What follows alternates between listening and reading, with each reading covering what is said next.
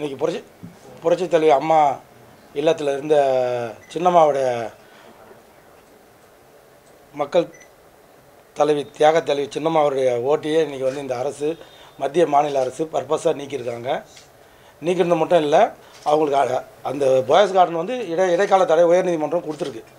கொடுக்கும்போது அந்த ஓட்டை அவங்க அந்த வீட்டில் இருக்கிற விலாச ஓட்டை நீக்க வேண்டியதில்லை. அப்படியே நீக்கியிருந்தால் கூட அவங்க வேறு இடத்துல அந்த விலாசம் அந்த ஓட்டை அவங்களுக்கு பதிவு பண்ணுறதுக்கு வாய்ப்பு கொடுத்துருக்கணும். எலெக்ஷன் கார்பரேஷன் கமிஷனர் கொடுக்கல.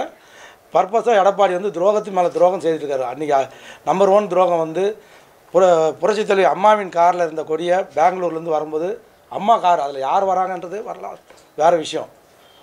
அனைத்து இதே தெய்வம் புரட்சி தலைவியோட அம்மாவோட கார்லேருந்து அதிமுக கொடியை கைட்டினது ஒரு டிஜிபியை வச்சு கைட்டினது மிகப்பெரிய ராஜ துரோகம். பச்சை துரோகம் பண்ணது ரெண்டாவது ஐ சிவி சண்முகம் ஜெயக்குமார் உள்பட ஐந்து அமைச்சர்களை வச்சு டிஜிபி கிட்ட கம்ப்ளைண்ட் கொடுத்தது. கொடுத்து அம்மா மேலே அதாவது சின்னம்மா மேலே நடவடிக்கை எடுக்க சொல்லி புகார் கொடுத்தாங்க. அந்த புகார் கொடுத்தது மட்டும் இல்லை அந்த அம்மாவோட ஓட்டை நீக்கியிருக்காங்க. யாரோட? மேடம் ச மேடம் சின்னம்மா எங்கள் இதே தெய்வம். அதாவது அனைத்து இந்திய அண்ணா திராவிட முன்னேற்ற கழகத்துக்கு இன்றைக்கி வரைக்கும் அந்த அந்த போஸ்ட் ஃபில்லப் பண்ணாமல் பொதுச் செயலாளராக இருக்கிறவங்க வந்து சின்னம்மா.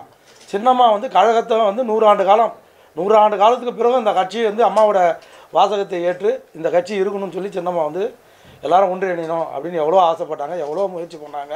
வந்த பொழுது கூட சந்தோஷமாக வந்தாங்க. யாரோட அடி மிரட்டலுக்கும் அடிமணிக்கும் நான் அஞ்ச மாட்டேன். என்னுடைய அதிமுக தொண்டர்கள் அமமுக தொண்டர்கள் எல்லாம் இணையணுன்ற ஒரு மிகுந்த ஆவலோடு தான் அவங்க அந்த இருபத்தி நாலு மணி நேரம் பெங்களூர்லேருந்து இங்கே வந்து இரவு உங்களுக்கே உடம்பு சரியில்லாமல் கொரோனாலேருந்து வந்தவங்க எவ்வளோ கஷ்டப்பட்டிருப்பாங்கன்னு தெரியும். ஆனால் தொண்டனை வந்து ஏமாந்துடக்கூடாது. ஒரு நாள் தங்கி கூட எனக்கோசம் காசு தொண்டர் ஏமாந்துடக்கூடாது. அம்மாவின் உண்மையான விசுவாசிகள் யாரும் ஏமாந்துடக்கூடாது. அவ்வளோ தூரம் வந்தாங்க. அவன் வரும்போது நான் ராமாபுரத்தில் புரட்சித்தலைவர் இல்லத்தை வந்து என் கையில் கொடுத்துருந்தாங்க அந்த வரவேற்புக்கு. எனக்கு வந்து ஆசி வழங்கினாங்க. பதினாயிரம் ஆயிரம் இப்போ எனக்கு. ஆசி காலைல வந்து நான் ஆசி பெற்றேன். ஆசி வழங்கினாங்க.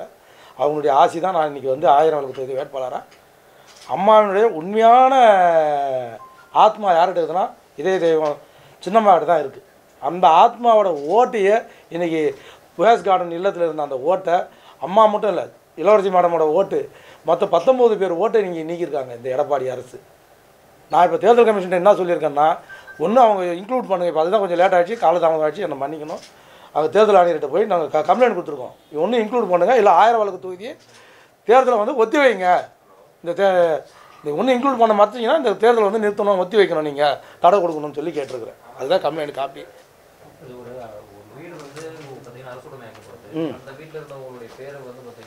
வந்து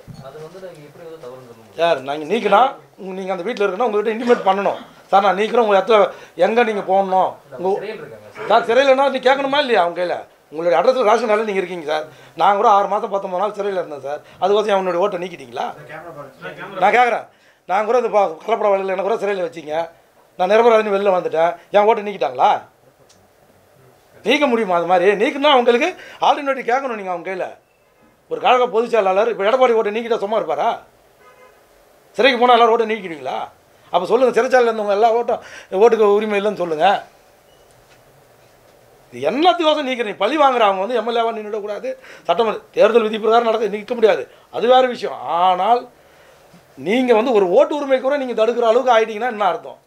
எவ்வளோ பேர் நீங்கள் ராஜ துரோகம் பண்ணுறீங்க பச் உங்களை முதலமைச்சராக எப்படி ஆனீங்க நீங்கள் மக்களால் தேர்ந்தெடுக்கப்பட்ட முதலமைச்சர் ஆனீங்களா? சரி பதினஞ்சு நாள் மேலே நாங்கள் கொடுத்துட்டோமே சார். கொரோனா வந்ததுக்கப்புறம் இருபத்தி ஏழாம் ரிலீஸ் பண்ணாங்க. பதினஞ்சு அதுக்கப்புறம் இங்கே வந்தோம். வந்ததுக்கப்புறம் பதினஞ்சு நாள் மணி கொடுத்தோம். இன்க்ளூட் பண்ணல இன்றைக்கி வரைக்கும். ஆனால் நாளைக்கு ஓட்டு போடணும் அதனால தானே இன்றைக்கி இந்த பிரச்சனையை கலப்புறோம் நாங்கள் பதினஞ்சு நாள் முன்னாடி ராஜா சந்திரபாணி கம்ப்ளைண்ட் கொடுத்துருக்காரு. கம்ப்ளைண்ட் நம்பர் தரேன். வாங்கிக்கோங்க. பர்பஸாக ஏன் அவங்க ஓட்டு நீக்கிறீங்க? எம்பி தேர்தலில் அவங்க ஓட்டு இருக்குது ரெண்டாயிரத்தி பதினாலில் போட்டமும் ஓட்டு இருக்குது இப்போ எதுக்கு நீக்கினீங்க? சரி நீக்கினீங்களா. இப்போ உங்களுக்கு தெரியும். அதே ஆயிரம் தொகுதியில் தான் அவங்க வீடு இருக்குது அபிபுல்லா ரோட்டில் இருக்கிறாங்க அவங்க முகாம் வெள்ளத்தில். அந்த ஓட்டில் சேர்க்கணுமா இல்லையா? சரி லெட்டர் கொடுத்துமா அப்பாவை சேர்க்கணுமா இல்லையா? அவங்க கொடுத்தது கம்ப்ளைண்ட்டா இல்லை வந்து பார்த்தீங்கன்னா தேர்தல் ஆணையத்தில் அவங்க பேரை புகார் கொடுத்து என் பேரை சேர்க்கணும்னு சொல்லி ரைட்டிங்கில் கொடுத்துருக்காங்க. கழக வழக்கறிஞர் ராஜா சந்திரபாணி கொடுத்துருக்காரு. அதுக்கப்புறமா ஏன் சேர்க்கலன்னு தான் கேட்குறேன் நான். தப்பா இல்லையா? நீங்கள் சொல்லுங்கள் சார். நீங்கள் கரெக்டாக தான் கேட்குறீங்க இந்த கேள்வி அவங்கள சேர்க்காது தப்பா இல்லையா? தேர்தல் ஆணையத்தை தேர்தல் அதிகாரி டைரக்டா பார்த்து சாகுவர் பார்த்து சார் இப்போ இப்போ தான் சார் ஜோனல் ஆஃபீஸ்க்கு போயிருக்கோம். இப்போ படிப்படியாக தான் போனோம் நாங்கள் ஜோனல் ஆஃபீஸ் கொடுத்துருவோம் கார்பரேஷன் கமிஷனர் கம்ப்ளைண்ட் கொடுத்துருவோம் கம்ப்ளைண்ட் காப்பி சார் அதுதான் சார் கேட்டுன்னு இருக்கேன். எங்களுக்கு பேலட் ஓடாது கொடுங்க சின்னமாக்கு தான் கேட்குறோம் எங்களுக்கு பேலட் ஓட்டு கொடுங்க சின்னமாக்கு ஓட்டு இல்லாமல் நீங்கள் எப்படி பண்ண முடியும் தான் முயற்சி எடுக்கிறோம். உங்கள் வாயிலாமே அதை கேட்குறேன் இப்போ நான் மட்டும் கேட்க வேணாம் நீங்களும் கேளுங்க. ஏன் அந்த அம்மா சார் அவசர வழக்கு இன்றைக்கி போகலாம் உங்களுக்கு ஆன்லைன் இப்போ நம்ம இன்றைக்கி வழக்கு போட்டால் ரெண்டு நாள் கழிச்சு தான் அந்த பண்டிலே கோர்ட் எடுக்கும் கையில். போய் முன்ன மாதிரி போய் மென்ஷன் பண்ணிலாம் கேட்க முடியாது. ஆன்லைன் கே கேஸு இன்றைக்கி போய் நான் அதுதான் கேட்குறேன். ஒன்று இன்க்ளூட் பண்ணுங்கள் இல்லைன்னா தேர்தலை தள்ளி வைங்கன்னு கேட்குறேன். ஆயிரம் வழக்கு சுதந்திரமாக தேர்தல்னா அனைவருக்கும் வாக்கு கொடுக்கணும். ஒரு வாக்கு இல்லைன்னா கூட வந்து வந்து தேர்தல் நடத்தக்கூடாது. ஒரு பொதுச்செயலாளர் கழக பொதுச்செயலாளர் அவங்க அம்மாவின் வீட்டில் கூட பத்தொம்பது வாக்கு நிற்கிருக்கிறாங்க ஒரு ஓட்டு இல்லை பத்தொம்பது வாக்கு நிற்கிருக்காங்க நீக்கிறவங்க இன்டிமேஷன் பண்ணீங்களா? நான் என்னுடைய கேள்வி. யாரா வாக்கு நீக்கினா அவங்க வந்து நான் சாதாரண லீடர் ஒரு லீடர் ஒரு பார்ட்டியோட லீடராக இருக்கும்போது நீங்கள் மாதிரி இன்டிமேட் பண்ணியிருக்கோம் உங்கள் உங்கள் வாழ்க்கை நீங்கள் இது வரைக்கும் இன்டிமேஷன் ஏதாவது லெட்டர் கொடுத்துருக்கீங்களா? தபால் சிறைச்சாலைக்கு தபால் போவாதா? சார் சொன்னால் சிறைச்சாலையில் இருந்தாங்க நீக்கிட்டாங்கன்னு சொல்கிறீங்க சார் சொல்லுது த தபால் அனுப்பிச்சுனீங்களா இல்லை இன்க்ளூட் பண்ணுறது இது வரைக்கும் எந்த வித முயற்சியாவது பண்ணிங்க அவங்க வந்து எவ்வளோ நல்லாவது இன்க்ளூட் பண்ணணுமா இல்லையா? இது முதலமைச்சரோட நாலேஜ் இல்லாமல் நீக்கியிருப்பாங்களா? சார் சொல்லுங்கள் இந்த பேர் ஒரு பாலிசி டிசிஷன் எடுக்கும்போது இது ஒரு கொள்கை முடிவு. இந்த முடிவு எடுக்கும்போது கார்ப்பரேஷன் கமிஷனர் முதலமைச்சரையோ இல்லை உயர் அதிகாரியோ கேட்காம சீஃப் செக்ரட்டரி கேட்காம இந்த நடவடிக்கையில் ஈடுபட்டிருப்பாரா?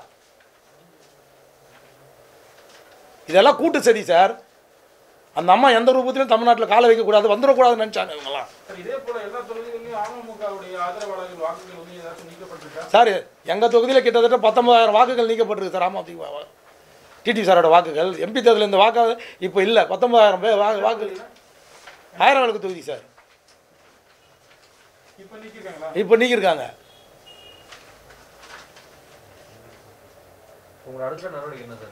அதுதான் சார் இப்போ அடுத்த எல்லாரும் மெயில் அமைச்சிருக்கோம் ச- சதீஷ் சாகு மட்டும் இல்லை எல்லாருக்கும் நம்ம டெல்லி வரைக்கும் நம்ம எலெக்ஷன் கமிஷன் டெல்லிக்கும் அமைச்சிருக்கிறோம் ஒன்று தே தேர்தலில் அவங்க அவங்க ஓட்டு எல்லாம் நீக்கின ஓட்டு எல்லாம் சேர்க்கணும். சேர்க்கலன்னா நீங்கள் தேர்தலில் தள்ளி வைங்க ஒத்தி வைங்கன்னு கேட்டுருக்குறோம். ஆயிரம் விளக்கில் சுதந்திரமாக தேர்தல் நடக்கல. அந்த குஷ்பு மேடம் அன்றைக்கி முதலமைச்சர் வரும்போது அவ்வளோ கட் அவுட்டு சுருதி ராணி வரும்போது அவ்வளோ கட் அவுட் அவ்வளோ பேனர் ஏன் விதிமீறல் இவங்களுக்குலாம் ஆளுங்கட்சி மத்திய மாநில அரசுக்குலாம் விதி கிடையாது. கட் அவுட் பேனர் வைக்கக்கூடாதுன்னு ஹைகோர்ட் பல முறை சொல்லியிருக்கு. அதில் எத்தனை பேர் இறந்துருக்காங்க? உங்களுக்கு கூட கடைசியாக வேலை சேரில் கூட இறந்தாங்க கட் அவுட் பத்தொன்பதாயிரம் வாக்குகள் நீக்கப்பட்டது தொடர்பாக நீங்க ஏன் தேர்தல் அதிகாரிகிட்ட புகார் அளிக்கல? சார் தேர்தல் அதிகாரிட்ட பல முறை சொல்லியாச்சு. தான் நாங்கள் இப்போ திரும்ப கடைசி இதில் சேர்க்குறோம் சேர்க்குறோம்னு சொன்னாங்க சார் அவங்க. இப்போ சின்னமா கூட அதான் சொன்னாங்க கடைசி ஃபிஃப்ட்டில் சேர்க்குறோம்னு சொன்னாங்க. நே- சேர்க்கல இன்னைக்கு வரைக்கும் சேர்க்கல இப்போ பதினோரு மணிக்கு வாங்க நாங்கள் பதினோரு ஆமாம் சார் போடுற வழக்கில் குறிப்பிட்டிருக்கோம். நான் தேர்தலை நிறுத்தணும்னு சொல்லி தான் இப்போ லெட்டர் கொடுத்துருக்கேன். டெல்லிக்கு வரைக்கும் government of India election commission தபால் கொடுத்துருக்கேன்.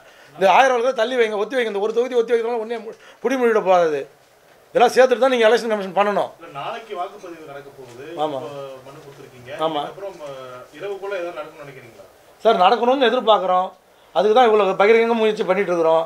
இது அட்லீஸ்ட் குறைஞ்சது நடக்குதோ நடக்கலையோ பொதுமக்களுக்கு மக்களுக்கு தெரியணும். எவ்வளோ பெரிய துரோகம் இந்த மாநில மத்திய அரசும் சேர்ந்துட்டு எவ்வளோ பெரிய துரோகம் ராஜகம் ஒரு சின்னம்மாக்கு இவங்களை யார் ஆளாக்குனாங்களோ யார் உருவாக்குனாங்களோ இவங்க அம்மா முகத்தை பார்த்ததை விட சின்னம்மா முகத்தை பார்த்தவங்க தான் அதிகம். யார் இந்த ஓபிஎஸ் யாராலும் முதல்வர் ஆக்குனாங்க? மக்கள் சில டிடிவி அவர் முதல்வர் ஆக்குனாங்க சின்னம்மாவோட தயவில் முதல்வர் ஆனார். யார்? ஓபிஎஸ். கடைசியாக ஜெயிலுக்கு சிறைச்சாலைக்கு போகும்போது ஒருத்தருடைய மனநிலை எப்படி இருக்குன்னு உங்களுக்கு தெரியும். அந்த சூழ்நிலை கூட கூவத்தூரில் உட்காந்து ஒவ்வொருத்தர் காலையும் கையிலும் விழுந்து எனக்கோசம் எடப்பாடியை ஆதரிங்க. எனக்கோசம் அவர் மேலே எவ்வளோ மனம் செம்மலை அண்ணன்லாம் ஒத்துக்கவே இல்லை எடப்பாடி கடைசி வரைக்கும். ஆறு எம்எல்ஏ ஒத்துக்கவே இல்லை அங்கே. அப்போ கூட சின்னம்மா கூப்பிட்டு நான் இந்த சூழ்நிலையில் இருக்கிறேன். எடப்பாடி நல்லா பண்ணுவார் சகோதரன் சொல்லி உங்களுக்கு பா ஆற தட்டி அணைச்சு அவங்கள ஊரில் தட்டி கொடுத்து அவ்வளோ தூரம் பண்ணிட்டு போனவங்கள ஓட்டை நீக்கிறிய. ஓட்டை நீக்கலாமா? போலீஸில் கம்ப்ளைண்ட் கொடுத்தா ஏற்றுக்கணும் கொடியை கைட்டினா ஏற்றுக்கணும் சிறைச்சாலையில் உள்ளே வர வெளியில் வரக்கூடாது. ஆறு மாதத்துக்கு முன்னாடி சிறையிலேருந்து வெளில வந்துடணும் அந்த தண்டனை பிரகாரம். அவங்கள லீவுலாம் கண கணக்கு எடுத்திருந்தா வர விடாமல் அவ்வளோ தூரம் மத்திய அரசுக்கு அழுத்தம் கொடுத்தீங்க. யார் இந்த வேலுமணியும் தங்கமணியும் அதானி மூலியமாகவும் அம்பானி மூலியமாகவும் த அழுத்தம் கொடுத்தீங்க. உங்களால் சொல்லக்கூடாது. இந்த அடிக்கடி ராகுல் காந்தி சார் சொல்கிற மாதிரி இந்த மத்திய அரசு வந்து நாலு பேர் நாலே பேருக்கோசம் ஆட்சி நடக்குது. ஒன்று அமித்ஷா சார் கோசம் இன்னொன்று மோடி சார் கோசம் இன்னொன்று அதானி கோசம் அம்பானி கோசம். அஞ்சு ரூபா யூனிட் ஆந்திராலாம் ஒரு யூனிட் கரண்ட் வந்து அஞ்சு ரூபா கொடுக்குறான் ஆனால் இங்கே ஏழு ரூபா கொடுக்குறான் உங்களுடைய வரி அந்த கரண்ட் ஏழு ரூபா கொடுத்து நம்ம தான் வரி பணம் இபியில் டெய்லி ஏறிட்டே இருக்குது. இது யார் காரணம்? அதானி. இவங்க தான் ரெண்டு பேரும் டைட்டாக பிடிச்சின்னு யார்? ஒன்று அந்த ராஜா அங்கே ஒரு சத்குரு இருக்கார் எங்கள் கோயம்புத்தூரில். ஆ? ஜக்கி வாசா அந்த சர்க்குரு மூலிமா இவங்க உட்காந்துன்னு இந்த ஆட்சியை காப்பாற்றிட்டு இருக்காங்க. இந்த ஆட்சி எத்தனை நாளைக்கு காப்பாற்ற முடியும்? இன்னும் பன்னெண்டு மணி நேரத்தில் இந்த ஆட்சி அதிகாரம் எல்லாம் பறந்து போயிடும். நான் என்ன சொல்கிறேன் இந்த மக்களுக்கு உங்கள் வாயிலாக நாங்கள் தெரிவிக்கிறோம். எவ்வளோ பெரிய ராஜ துரோகம் பண்ணிக்கிறாங்க. அம்மாவோட வீட்டில் இருந்த சின்னம்மாவோட ஓட்டை எப்படி நீக்கினாங்க தான் என்னுடைய ஒரே ஒரு கேள்வி. அதுக்கு முன்னாடி இந்த ராஜ துரோகத்துக்கு எடப்பாடிக்கு சரியான பாடம் இந்த தேர்தலில் கப்பி கற்பிக்கணும் அப்படின்றது என்னுடைய அன்பான வேண்டுகோள். மலர்பாதம் தொட்டு மக்களை வேண்டி கேட்டுக்கிறேன். இப்படி ராஜ துரோகம் பண்ணவர் மீண்டும் ஆட்சிக்கு வந்தாருன்னா நம்ம நிலமை இன்னும் அஞ்சு வருஷம். நீங்களாம் தேர்ந்தெடுக்கப்பட்ட ஒரு முதல்வராக இப்படி ஓசியில் வந்த இந்த முதல்வருக்கே இப்படி இருந்தால் நீங்களாம் மக்களால் தேர்ந்தெடுக்கப்பட்டு நேரடியாக இவருக்கு வாக்கு போட்டால் உங்களெல்லாம் எப்படி வச்சுருப்பாருன்னு யோசிச்சு பாருங்கள் சிந்திச்சு பாருங்கள் எந்த சூழ்நிலையும் இப்போ இருக்கிறது அதிமுக அம்மாவோட ஆட்சி இல்லை. இது அடிமை அதிமுக அரசு. எடப்பாடி ஆட்சி. எடப்பாடி வந்து அதிமுக ஆட்சின்னு சொல்ல முடியாது. அதனால் தயவுசெய்து மலர்பாதம் தொட்டு மக்கள் எல்லாம் கேட்டுக்கிறேன். இந்த எடப்பாடி அரசுக்கு ஒருபோதும் வாக்களிக்கக்கூடாது எதிரியை கூட மன்னிச்சிடலாம். இந்த துரோகியை வாழ்நாள் கூட மதிக்கக்கூடாது இதுதான் தமிழனுடைய பண்பாடு எல்லாமே. துரோகி முதல்ல ஒழிக்கணும் தான் சொல்லுவாங்க. எதிரியை கண்ணுக்கு தெரிஞ்சது என்னைக்கு வேணாலும் சண்டை போட்டு நாங்கள் எழுத்துவோம் இவங்க கண்ணுக்கு தெரியாத வைரஸ் இந்த எடப்பாடி. சின்னம்மா ஓட்டு என்னைக்கு நீக்கினியோ அன்றைக்கி உன்னுடைய அரசியல் அஸ்தமனம் வந்துடுச்சு. அதாவது ஒரு பண்டம் ஒருத்தனுடைய அடிப்படை உரிமை தேர்தலில் வாக்களிக்கிறது.